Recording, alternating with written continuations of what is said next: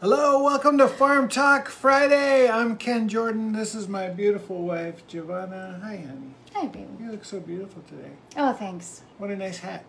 Thank you. Nice shirt. All right, this is uh, December Wait. 6th. No, this is January 6th, Can't this. 2023. Is this the first time we've said 2023? Yes, Yes. it is, obviously. It is. Okay. and our wardrobe today compliments of Eva Kim, Eva Kim and DJ Eva Kim. Plur AF. Yeah, which because we don't want to say yeah. the what it means. Well, it means Well, it means- plur Asian females. that's right. But it also means Other things. plurals. Yeah. Yeah. I keep wanting to. We're on the mirror mode, so you guys can see our hats and shirts, but Yeah. I can never. Oh, there we go. yeah. There it is. No, the that's AF. Good. That's good. There it is. And there's mine. I want to do this good It's somewhere. Oh, yeah. Okay. Shiny. Okay. Anyway. Hi. Hi. Whoever's online. All right. So, uh, all right, I'm just going to talk a little bit about what I've done this week. Yep. Weekly recap Yeah. From my husband, Repair, repaired a lot more drip lines. I want to talk about the term drip line. I'm going to stop saying drip line because it's got two meanings in the farming permaculture world. So I'm going to start saying drip irrigation. Okay? So I've been repairing the drip irrigation because drip line is the um, outside edge of where the leaves drip water if they're being rained on. And typically, what you want to do is water the drip line. That's where the roots are instead of around the trunk. So that's the better use of the term drip line. And now I'm going to be referring to our irrigation as drip irrigation. How about that? Great. okay. Um, yes, and uh, we're still uh, we still are without our employees. We've been doing a lot of watering, taking care of the chickens every Yes. day. We've been very responsible parents. Uh, we haven't been going out on social. Yeah. Now this is going to be impossible. I'm going to try to point to the chicken tractor. Okay. Uh, today we moved the chicken tractor right there Look, all I had to do is move my head. because they had sufficiently eaten all the grass and uh, there was a lot of ants there. So we moved them Yeah. to some new grass. And the ants were like overrunning their, their Yeah. poor. Do I get to uh, PP number five right now or later? I was thinking you would do it later. Okay. Okay. Is that it? That's all your updates right That's all now? I got, man. Oh, because the rest of it is. Happy birthday, Carly. Happy birthday to Carly. yes, we're going to see her later tonight for her birthday. A shout out to Michael Goldberg. His birthday is tomorrow. Tomorrow, It's yes. tomorrow. Um, we haven't seen Michael in a long time, but we do miss him and Ramona and his big family. and uh, yeah, so weekly recaps. I kind of want to do a Green Wave slash Rancho Delicioso update at the end of this after you do your permaculture um, permaculture principle number five. Uh, but I do I want to give a shout out to Alicia. She um, she's one of our amazing friends and she's an incredible photographer. And she has been taking these pictures of the scarlet macaws that fly past her home. And so she um, loves them and is super grateful that Wild Sun, one of the projects that our nonprofit Green Wave helps out, um, that Wild Sun and Jeremy, it was his idea, you know, to adopt the program of reintroducing the scarlet macaws into this area. And so, uh, you know, it's just nice to see people being grateful for the work that we've helped work towards in the area. So, um, this week we had a, a squirrel, I think the same squirrel that has eaten hibiscus before. Uh, I've caught this squirrel, and it's a boy. He fully mooned me, and I'm like, oh, okay, well, now I can call you a boy. Um, oh, sorry, I don't know if I can say that now, but um, anyway, I don't know how the squirrel identifies, but he has some genitalia. That They makes- they had some genitalia. they had some genitalia that makes me think he's that. Moving on. Anyway, um, so the squirrel, I don't, I just don't get like what, like what determines, like he's surrounded by food. He eats not only our anonas, which we didn't get any of, by the way, um, and that might be a different squirrel, but it's like they're surrounded by food. And on the hibiscus plant, they're eating the leaf and they're eating the little the flowers when they bloom and the buds. We have a lot of hibiscus, like a wall of hibiscus. So at what point, and I have the same question for the monkeys who like, you know, they're surrounded by food and then they decide to eat and it's like why? Why that one? Why right now? I don't know, it's just very interesting to me. So he got caught, and then I have a cute video of him that I posted on the Green Wave House page, and he's just munching on this flower bud. And so, anyway, um, saying hi to some of the people that have just logged on that at least we can see. We see Tom, uh, Hope, Julian. Hello. Julian's in Miami, apparently. Um, yay. Okay, so other things that have happened. Um, we had this beautiful what Ken and I call Mysteam. It's it's kind of like fog, but it's less foggy. It's mysterious, steamy, low-lying cloud stuff, and um, and it can be really beautiful. So I woke up, and we've been sleeping in this uh, in our studio that we're in right now, um, and so we can like see outside from these windows like from the bed. And i noticed that there was like some writing on the on the windows. And it could maybe it wasn't writing or maybe it was from the glass guys like writing something a long time ago and they were never properly cleaned. And i'm like what is this weird code um, up there? But anyway so i ended up going outside that morning to you know do some farm chores. And um, it was so beautiful. It's like it was obscuring like the sunbeams just so that you could see sunbeams like coming right at me like avatar 3d style. And um and it almost like i could see rainbows in the Mysteam sunbeams. Kind of like you know these glasses. I have some right here. Thanks to simon on new year's who gave me these. And they have the um Just see if they work. No, I don't think they're gonna Oh, work for the people. Well, what did what light source do they have that it would work no for them? idea. Anyway, so these are diffraction glasses, and I put them on, and I um, actually it's interesting. We have this big ring light. I was hoping it'd be like one giant heart, but usually if I look at a light, um, then I, I get a heart. Diffraction glasses can make different shapes, but anyway, I was seeing rainbows in the sunbeams thanks to the misty, and it was really pretty. So tell them what these glasses do, though. I don't think we. Well, I just said it. Yeah, normally you see hearts on every light source. And the best way to use these is with fireworks.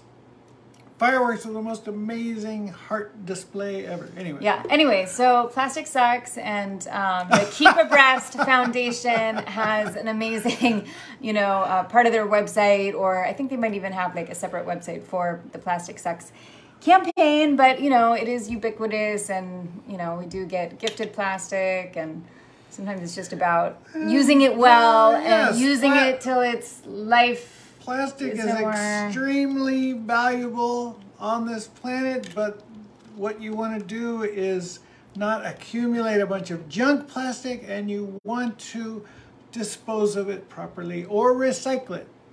If you can, but some of it, like I don't think the glasses at this point in time can be recycled. All right, then it goes in the landfill. unfortunately. Yeah. Or we can be creative and find other uses for it. So Hey, uh, go uh, kids, uh, figure it out. Yeah. All right. okay. So, uh, yeah, Ken, you already talked about the drip lines. Um, do you want to tell everyone about my moon raking idea? Well, We're Bond fans, by the way. okay, so we were in Pacifica over Christmas, Pacifica, California, and there was a hotel restaurant, um, called Moonraker. And you know, we know the James Bond film called Moonraker, but I just thought to myself, well, there must be uh, a meaning to Moonraker that existed before the Bond film. So I, I looked it up and like one of them was like a Scottish dumb person or something like that. but but what clearly what Moonraker means when it's close to water is it's a sail on a on a boat on a ship a sail on top of the top sail and so it's a really high sail and it's raking the moon. It's a moonraker. It's a sail on a boat. That's it. So, well, I think everyone did deserve that. Um, but what I meant was, do you want to tell them about the idea that I had regarding? No, you have to explain it. This Oh, is the I best, have to explain. This is the it. best idea ever. Okay, so, um, I don't know. I might have a tan, but I'm also still pretty fair skinned, and so I have to plan my working hours usually like kind of early or in the later afternoon, and I just have to be really careful with the sun.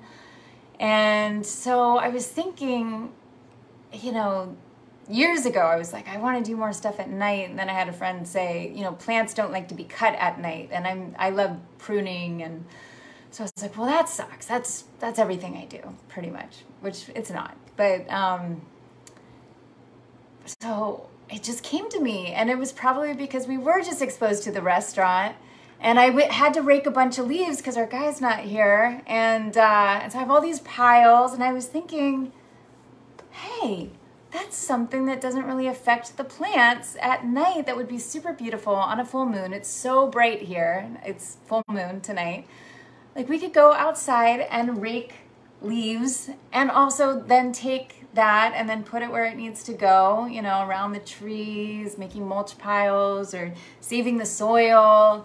So that's my moon raking idea. So, I told yes. Ken I want to be outside doing more stuff. This is the new, night. the new and third definition of moonraker. Byron! I went to I went to like middle school and high school. No, well, definitely elementary school with Byron. Byron um, was awesome dancer and football player. Great to see you on. Hi, Robin and um, Mary and Maureen. Hey, Robin. Much love to all of you.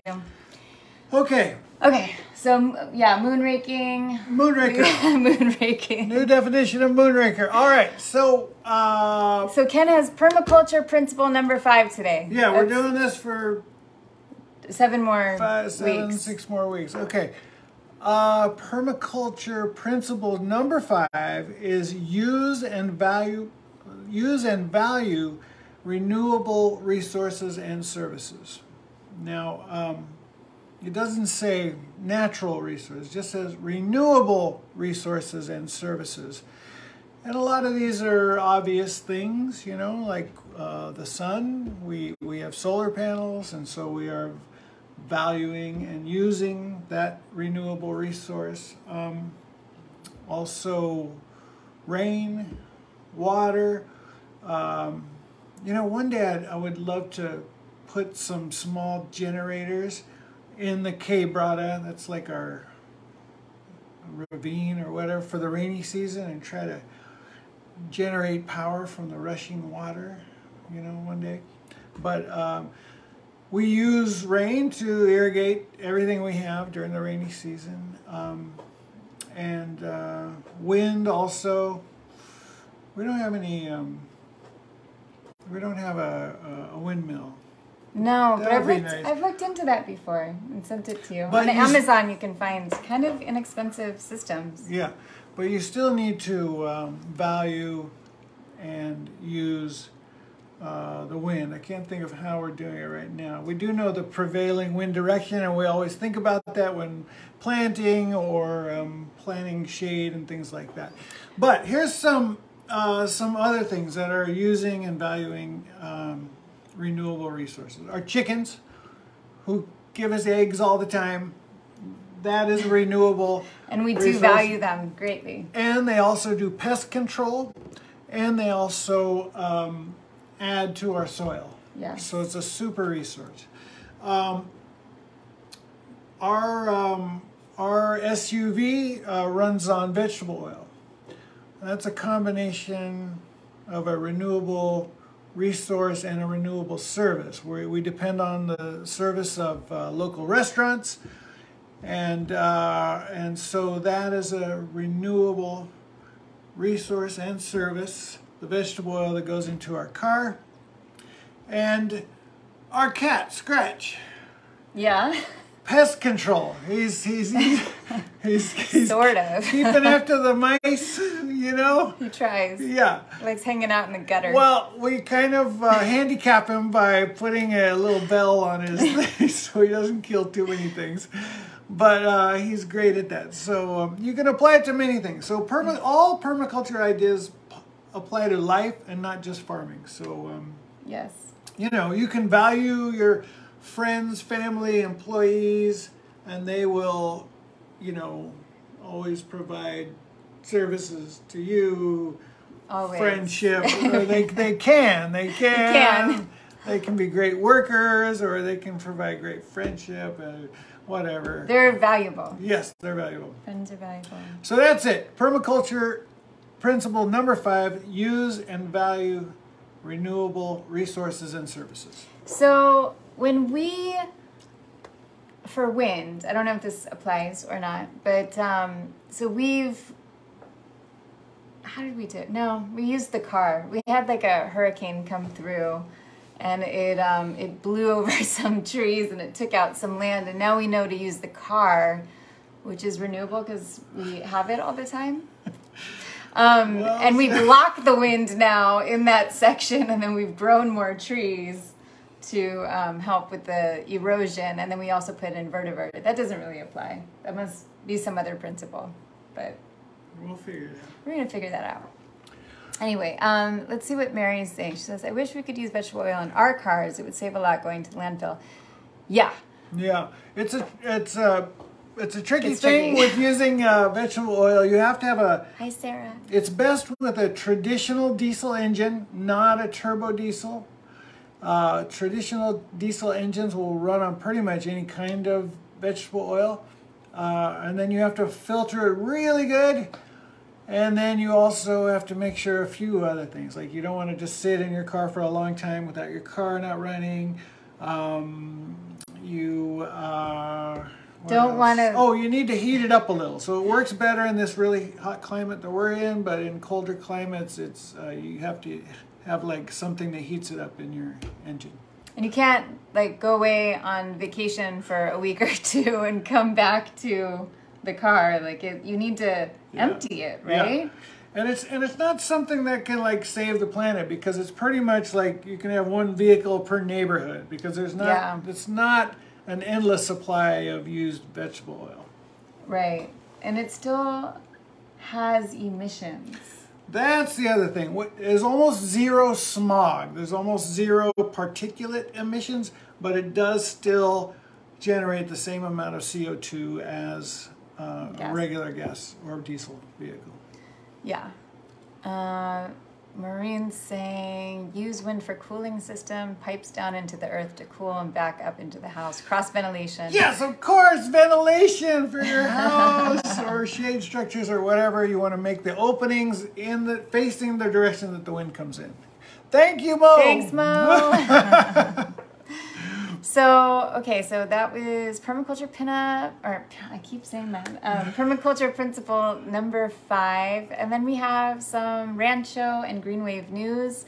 Okay. Um, so this doesn't impact our nonprofit specifically, uh, but because we consider or concern ourselves with kind of like all environmental matters, I do want to, just in case people don't know that live in our area, the turtle sanctuary up in Manzanillo got torched. Um, I think the cops have decided that it was arson, so it was pride poachers, and um, it's sad.